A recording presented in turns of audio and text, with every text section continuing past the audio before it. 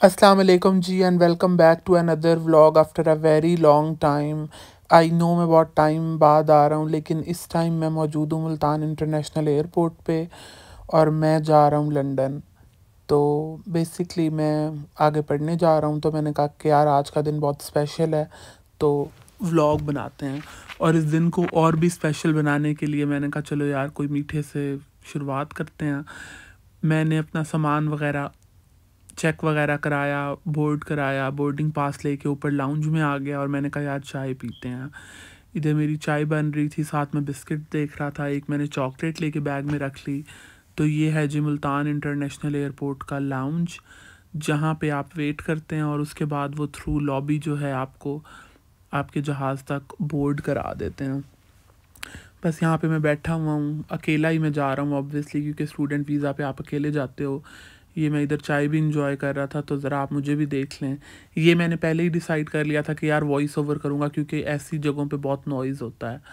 और उतनी ही देर में हमारी बारी आ गई तो हम जी लॉबी में एंटर हो रहे हैं। और एक्चुअली मेरा ना फ़र्स्ट टाइम एक्सपीरियंस है ये मतलब फ़्लाइट का। तो ये देखें जी, जहाज़ खड़ा हुआ है। तो देखते हैं जी कैसा रहता है एक्सपीरियंस मीन मेरी खुशियाँ भी देख लें आप। और ये मैंने कहा, यार चलो बैठ के ज़रा फ़ोटोग्राफ़ी कर लें और अब मैं आके प्लेन में बैठ गया था और लकीली मुझे विंडो सीट ही मिल गई।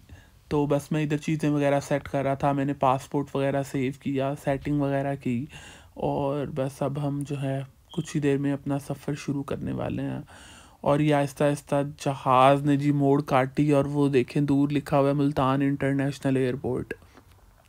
इस टाइम मुझे ऐसे फील हो रहा था कि यार ऐसे ना, जैसे मुल्तान दूर जा रहा है कहीं पे। बस फिर ये, अभी मैं सोच ही रहा था कि जहाज़ भागा और विद इन नो टाइम हम लोग जो क्लाउड्स में थे, बस पता ही नहीं चला जी जहाज़ ने ऐसे जो है टेक ऑफ़ कर लिया। बड़ा स्मूथली तो फ़र्स्ट टाइम मेरा एक्सपीरियंस था और मज़ा आया काफ़ी। बस अब जी अकेले इंजॉय करते जा रहे हैं जर्नी बस इधर बैठ के अब ज़रा मैंने कहा मैं अपनी भी थोड़ी वीडियो बना लूँ, थोड़ा पोज शोज़ कर लें इंस्टा के लिए, ये देखें जी विंडो सीट के अपने ही मज़े होते हैं। और विदाउट एनी पे मुझे जो है बस लकीली इधर मिल गई, क्योंकि उन्होंने कहा आपकी सीट चेंज हो गई है। मैंने कहा, चलें जी नो प्रॉब्लम और ये देखें जी, इधर मैं मैप नेविगेट कर रहा था कि हम किधर हैं, क्या कर रहे हैं इस टाइम बस फिर फ़्लाइट में थोड़ी देर बाद बंदा बोर भी होता है। मैंने कहा, चलो यार, थोड़ा नेविगेशन कर लें, देख लें। और इधर जो है, खाना शुरू हो गया है। खाना सर्व होने लगा है। तो अभी हमारा भी खाना आ जाता है, फिर हम आपको दिखाते हैं। तो इस टाइम तो यूजली घर में होता है ब्रेकफास्ट कहें लंच कहें, लेकिन बस देख लें जी, आज हम बादलों के दरमियान लंच करेंगे कतर वेज के साथ। और ये देखें जी, ये इन्होंने दिया है लंच सबसे पहले पानी है। ये ब्रेड टाइप बन है। मैंने लिया था चिकन एंड राइस ये डेजर्ट में सेवियाँ थी जो कि बहुत ही मज़ेदार थी और ये सैलड था। सैलड मुझे थोड़ा इतना अच्छा नहीं लगा क्योंकि मतलब ये कुछ कोई डिफरेंट मतलब सैलड था। कन्वेंशनल सैलड से थोड़ा सा डिफरेंट लगा मुझे। तो इस वजह से खैर साथ साथ क्लिप्स चल रहे हैं। मील की मैंने अनबॉक्सिंग की। ये मील बहुत अच्छा था। उसके बाद जी इन्होंने मैं चाय सर्व की तो मैंने ब्लैक टी ली। साथ ये देखें बिस्किट इन्होंने दिया, ये मिल्क है। अच्छा मिल्क ठंडा था, लेकिन आप जैसे ही उसे चाय में ऐड करते थे तो बड़ी बेहतरीन सी चाय बन जाती थी। अब देखें जी, चाय पीने लगे हैं। चाय पी के मैंने कहा, भाई मेस भी जो है, अपना खुद ही समेट लो, ताकि वो जब कलेक्शन के लिए आए तो फिर चीज़ें इधर उधर ना गिरें, जगह क्लीन रहे। तो ये बिस्किट मैंने उनसे एक और भी ले लिया था, मुझे बहुत अच्छा लगा। मैंने कहा, चलो यार, मुझे एक और टेस्ट कराओ। बस जी, सफ़र हमारा जो है मुल्तान टू कतर है, और इधर मैं देख रहा था। मैंने कहा, यार, कमाल सीन है मतलब बादल दूर ही दूर। मतलब एक टाइम आता है कि आबादी ख़त्म हो जाती है and you are over the clouds तो साथ में टेम्परेचर वगैरह भी देख रहा था कि यार, क्या है, क्या नई चीज़ें नेविगेट कर रहा था एक्सप्लोर कर रहा था। साथ साथ व्लॉग बन रहा है। वॉइस ओवर इसलिए हो रहा है क्योंकि फ़्लाइट्स में ना बहुत ज़्यादा शोर होता है। तो वो फिर देखने वालों के लिए ना बड़ी अजियत होती है कि यार क्या शोर जो है हम देखें। और ये मैं इंस्टा की रील के लिए बना रहा था। फिर मैं बोर हो रहा था, मैंने कहा, चलो यार वॉशरूम विज़िट करके आते हैं। ज़रूरत नहीं भी है तो क्या, कोई बात नहीं, चक्कर लगाते हैं, ज़रा फ्रेश हो जाते हैं। तो बस मैं इधर वॉशरूम आया। तो वॉशरूम खैर काफ़ी छोटा होता है। लेकिन खैर मैंने कहा विज़िट तो करना बनता है। बस विद इन नो टाइम अब हम जो है दोहा लैंड करने वाले हैं अनाउंसमेंट वगैरह हो गई हैं कि बेल्ट शेल्ट बाँध लें और हम जो है दोहा लैंड कर रहे हैं। लैंडिंग में थोड़ा सा मुझे डर लगा। अच्छा जैसे ही मैंने लैंड किया, इधर मैं स्टेयर से उतरा, आगे शटल आई हुई थी लेने, मैं शटल में बैठ गया। तो it was very much convenient कोई मतलब हैसल नहीं करनी पड़ी। और ये देखें जी, ये शटल चल रही है। दोहा का एयरपोर्ट इतना बड़ा है कि I can not tell you मैं तो फ़र्स्ट टाइम ज़ाहिर है जा रहा था और ये, क्योंकि दोहा में गर्मी होती है तो शटल में इतनी ठंड मुझे लगे, इतना तेज़ एसी क्योंकि ज़ाहिर है वो फिर सिस्टम्स होता है गाड़ियों का कि एसी के बगैर अंदर बैठा ना जाए। लेकिन मैंने अपनी जिप बंद कर ली। मैंने कहा, भाई, अभी तो लंदन पहुँचे नहीं है, इतनी धूप में इतनी ठंड लग रही है। और ये जो अंग्रेज़ भाई बैठे हुए हैं, इनकी भी मेरी साथ वाली फ़्लाइट है तो हमने कहा, चलो जी साथ साथ चलते हैं।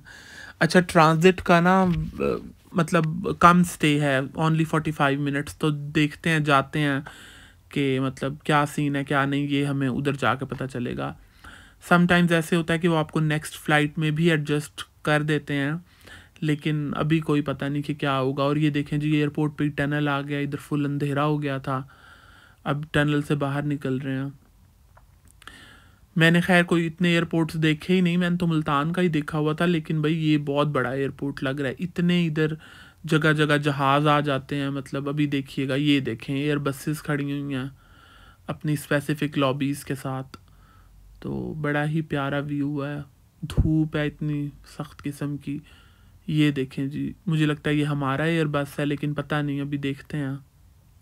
चलें जी, जैसे ही ऊपर पहुँचे, उन्होंने मुझे नया बोर्डिंग पास इशू कर दिया कि आपकी फ़्लाइट दो घंटे बाद होगी।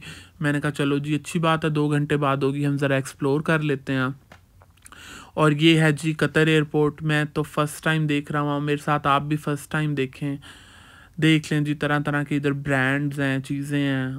ये बच्चा ज़िद कर रहा है कि मुझे ये गाड़ी लेके दो। उसके डैडी ने कहा है कि, नहीं बेटा, आपको मैं गाड़ी नहीं लेके दे रहा। चलें जी, जोक्स अपार्ट, काफ़ी क्यूट बेबी है, पता नहीं क्यों लेटा हुआ है। उठ जाओ बेटा। अच्छा ये टैडी का मुझे हमेशा से था कि यार टैडी के साथ पिक्चर होनी चाहिए एंड ऑल दैट तो देखते हैं, किसी को रिक्वेस्ट करते हैं कि भाई आप टैडी के साथ पिक्चर बना दें। और देख लें, यार मैं तो थक गया हूँ एयरपोर्ट पे चल चल के। एयरपोर्ट ख़त्म होने का नाम नहीं ले रहा। थोड़ी देर मैंने चार्जिंग बूथ पे अपना फ़ोन चार्ज किया और अब मैंने ये डिसाइड किया है कि मैंने अपना बोर्डिंग पास चेक किया, जहाँ से मेरी बोर्डिंग होनी है, मैं उस रिस्पेक्टिव गेट के आसपास जा रहा हूँ, क्योंकि ये तो बहुत बड़ा है और क्या करना है जी, इतना घूम के, ये तो ना फ़्लाइट मिस हो जाए और ये हैरिड्स का भी इधर आउटलेट है। One of my favourite store मैं गया नहीं हूँ अभी तक इन का भी प्लान है, लेकिन मुझे ये अच्छा लगता है।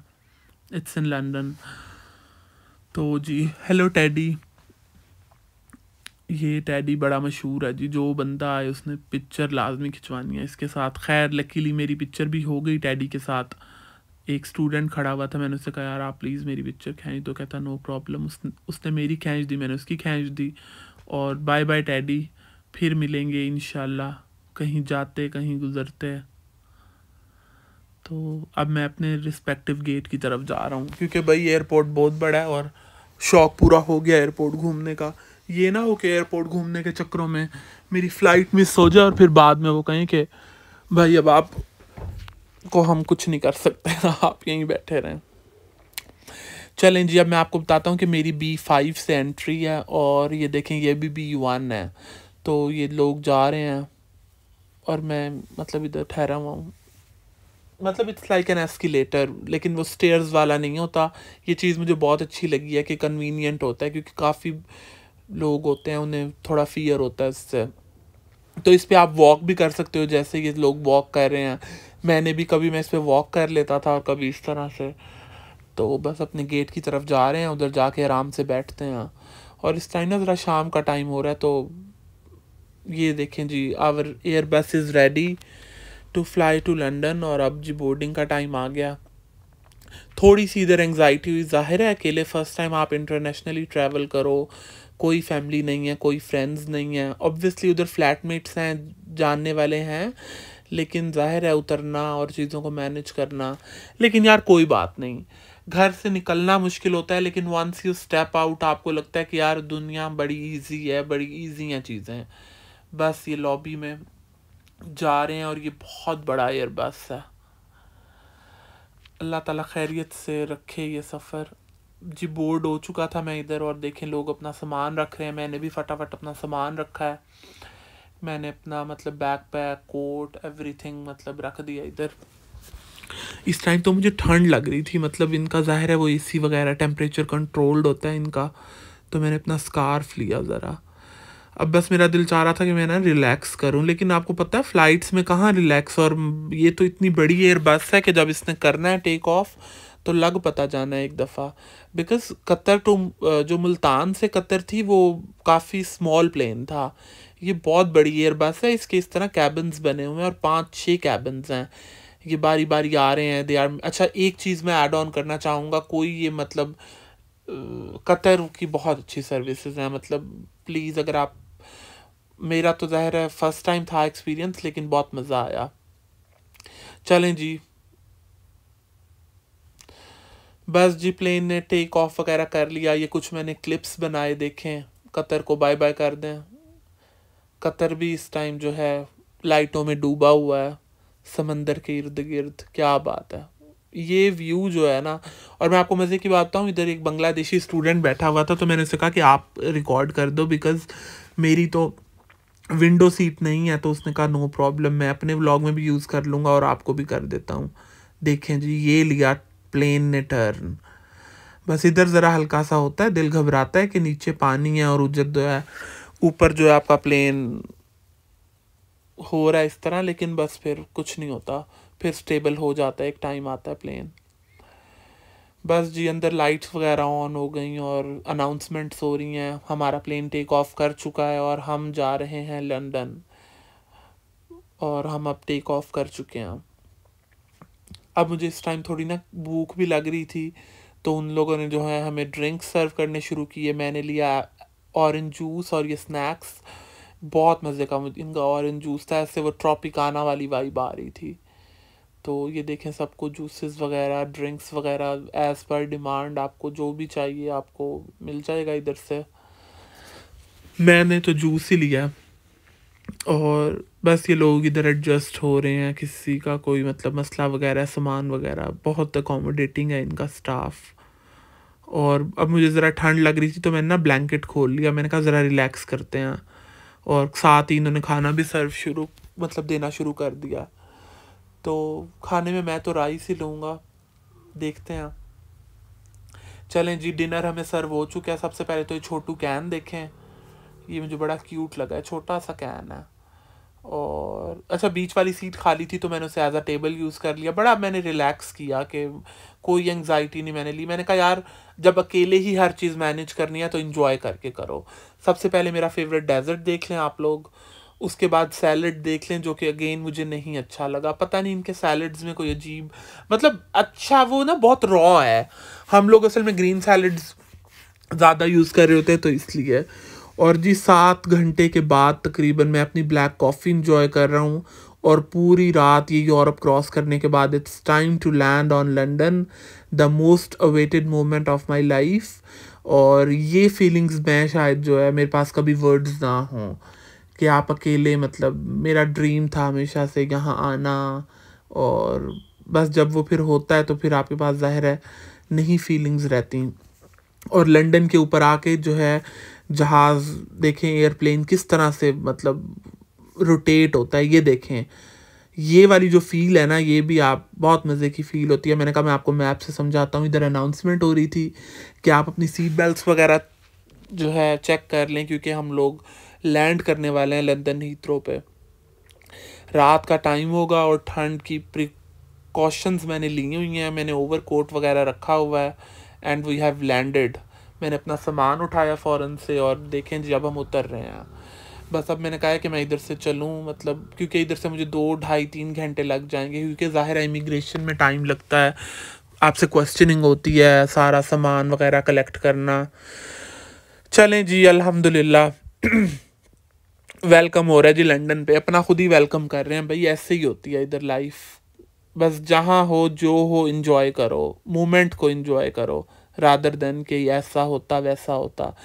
मैं इधर सामान के लिए रुका हुआ हूँ और शुक्र है कि जल्दी ही मेरा सामान आ गया। मैंने फटाफट ट्रॉली पे रखा। मेरे फ्लैटमेट्स आए हुए थे जो कि मेरा जूनियर भी है तो वो कह रहे थे कि हम उतर जाते हैं लिजबत लाइन से। मैंने कहा, भाई, आपकी टिकट ज़ाया हो जाएगी। मैं इधर से कॉफ़ी पकड़ता हूँ और मैं आ रहा हूँ। मेरी टेंशन ना लो आप। और बस जी, जा रहे हैं लिजबत लाइन की तरफ़। अच्छा एलिज़बथ लाइन बहुत फ़ेमस है लंदन की अगर आप इसके लिए मज़ीद जानना चाहते हैं तो आप ऑब्वियसली गूगल वगैरह कर सकते हैं इतनी ज़्यादा मैं आपको डिटेल बता के बोर नहीं करूँगा। और ये देखें जी अभी हमारी एलिज़बथ लाइन आ जाएगी। ये टिकट बूथ्स वगैरह बने हुए हैं लेकिन उससे पहले मुझे एक आ, वो लेनी पड़ेगी लिफ्ट बिकॉज़ नीचे होती है वो। और ये देखें बस रुकी है और वो एक फ्रेंड आया उसने मेरा सामान पकड़ा और मैं अंदर आ गया हूँ। चलें जी अब जो है चलते हैं। घर की तरफ़ बहुत इस टाइम ना थक हुआ हुआ और मैंने कहा वंस अगेन आप मुझे भी देख लें मेरा स्लीपी फेस और जेट लैग ज़ोरों से हुआ हुआ ये ना स्लीप साइकिल को टाइम लग जाएगा। पता नहीं कितना टाइम लगे, लेकिन लग ज़रूर जाएगा। मुझे अब ये लग रहा है। चलें जी, मेरी तो जर्नी बहुत अच्छी रही। आप लोग कमेंट करके बताइएगा कि आपको कैसा लगा ये व्लॉग और इन आपसे अब ज़्यादा मुलाकात हुई कर, हुआ करेगी। मिलेंगे अगले व्लॉग में तब तक के लिए अल्लाह हाफिज़।